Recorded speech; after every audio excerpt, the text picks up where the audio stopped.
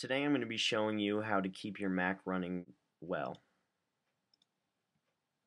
First of all, I'd like to show you the specifications of my Mac. I have a 2.4 gigahertz Intel Core Duo processor, which is not top of the line, so I really don't have the greatest hardware, but my Mac still runs pretty well. I have tons of applications open right now just to prove a point, to show that I can make a video, although I do not have the best hardware.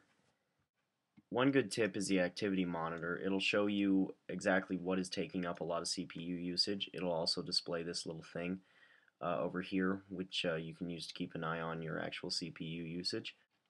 So, as you can see, QuickTime Player is taking up about 100% CPU usage, which is a lot. And it'll show you some different things that are taking up a certain amount of uh, CPU usage. So you can use that to keep your eye on uh, things that are taking too much than it should another great thing you can do is uh, use the disk utility. Uh, you can go under your, your utilities folder and you can find the disk utility, uh, which is this. Uh, you select your hard drive and say uh, repair disk permissions. I already started mine.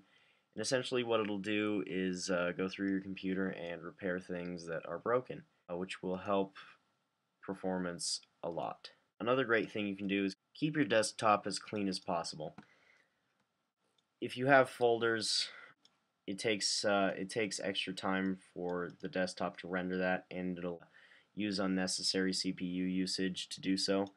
So keep it as clean as possible. Uh, then everything works out a lot better because it doesn't use that extra processing power to render the icons on the desktop. And a nice way to do it is if you go to Finder, uh, you can basically organize all of that stuff underneath here. Another great thing to do is keep your hard drive as clean as possible, which can be hard, but uh, the things that take up the most memory are media files, which are essentially movies, uh, music, and pictures. So basically weed through those and get rid of the ones that you don't need.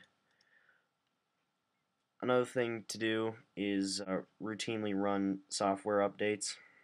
You can do that either under software update or the App Store depending on your operating system. Uh, you can go under updates and no updates available. But if there are, then update all of it. And essentially what that does is sometimes there will be bugs that are fixed and essentially you'll just keep your operating system up to date. Another thing you can do is keep your dock as clean as possible.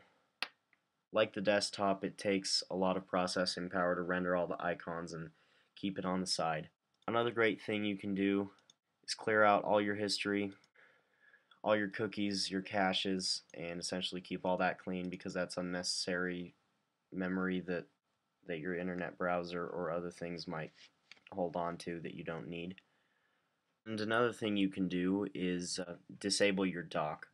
Uh, you can find a video or go online to find a code that you will type into terminal and essentially it will disable your dock and the dock takes up a lot of processing power because it's always running in the background.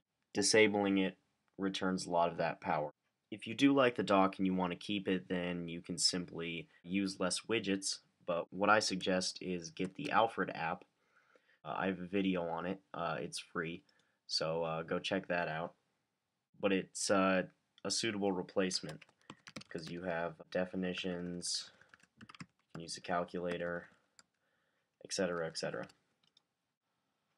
So yeah, those are a few things that you can do to keep your computer running well.